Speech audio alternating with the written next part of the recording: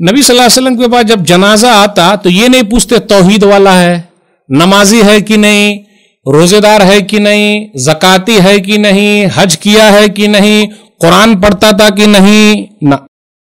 ایک ہی سوال پوچھتے تھے، کون سا سوال تھا وہ؟ قرض کا مسئلہ۔ بھائی، قرض ارض اترا ہے کہ نہیں اترا؟ کیوں بھائی؟ معاملات۔ اللہ کے ساتھ معاملہ اللہ معاف کرتے لیکن بندوں کا معاملہ جب تک بندہ نہ معاف کر دے، اللہ بھی معاف کرنے کو تیار نہیں ہے۔ دلیل۔ صحیح بخاری،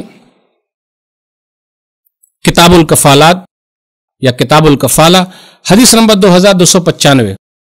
ایک جنازہ آیا، نبی صلی اللہ علیہ وسلم نے پوچھا حل علیہ من دین ایک ہی سوال پوچھا۔ اس کے اوپر قرض ہے کیا؟ بولے، نہیں۔ جنازے کی نماز آپ نے پڑھ لی۔ بولے، قرض نہیں۔ دوسرا جنازہ آیا، پھر کبھی اور آیا ہوگا؟ آیا۔ حل علیہ من دین، اس کے اوپر قرضہ ہے کیا؟ ایسے غور سے سنیے گا، قرضہ لینے سے پہلے پوری عدم تیاری رکھیے۔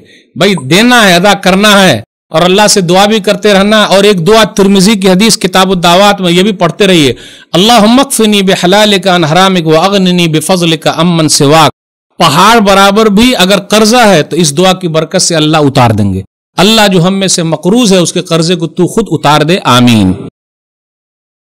حل علیہ من دین، اس کے اوپر قرضہ ہے کیا؟ بولے ہاں قرضہ ہے۔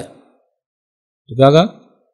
سلو والا صاحب جاؤ تم لوگ نماز پڑھ لو، میں نماز نہیں پڑھتا، میں جنازے کی نماز نہیں پڑھتا۔ جاؤ تم لوگ پڑھ لو۔ اس کا مطلب امام صاحب نہیں پڑھیں گے۔ ایک صحابی کھڑے ہو گئے۔ علیہ دین یا رسول اللہ اللہ کے رسول صلی اللہ علیہ وسلم، اس کا قرضہ میں چکاتا ہوں۔